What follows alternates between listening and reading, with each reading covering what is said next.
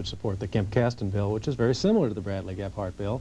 Uh, one of the biggest changes, it's a little lower rate, uh, Mhm. presumably grabs even more uh, deductions, and, uh, and has the indexing feature, and I think that's very important. You've heard a lot of numbers like uh, uh, no one at $11,200 family of four won't, will pay no tax under this, under the Bradley-Gephardt bill. Mhm. But 11,200, uh, 10 years from now, may be uh, quite a different number than it is today, and we need to change that. Uh, these brackets that kick in, it is not a flat rate tax. There are three brackets in it. Mhm. There's some lumpiness there. And as you jump from a 14% to a 26 uh, or whatever, um, uh, i- guess what I'm getting at is that uh, with enough time and enough kind of chronic inflation, even at a low rate, Mhm.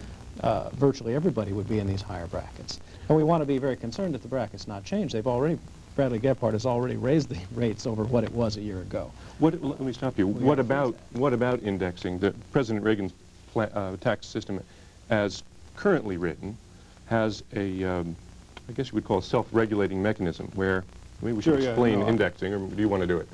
You can do it. Go Well, ahead. I You're don't know if I can do it right. How about we turn to our economist and have you do it? Explain indexing for those people like Well, me who don't know much about It's it. simply that you will, you will change the thresholds, for example, under this bill, the thresholds at which the, you, you move from a 14% rate to a 26 or whatever the current rate is, and to a 30. That, that, in other words, if you get simply a cost of living increase that just keeps up with inflation, you don't tax that as though it's real income. I was making the same point about capital gain. In other words, your tax, you only get into a higher bracket if your real earning If your power real goes earning- up. Exactly, right. All right. Let me, let me say that, uh, you know, last week we had a vote on indexing in uh, the Senate. We have a system now with a lot of rates. The vote was whether we delay indexing. I said, no, let's not delay indexing. When you got a lot of rates, you have It's some justification for it.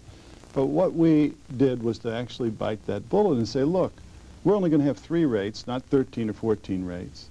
So you're not going to have the phenomenon of the last 10 to 15 years where slight increases in salary pushed you into the higher tax bracket. And then the other point is that if you take it what we, what we do to what's called the standard deduction and the basic exemption, under an index system, you'd get a 5% increase in that, basically. What we Mhm. do is the exemption, we increase 60%, and the standard deduction for couples, we increase over 70%.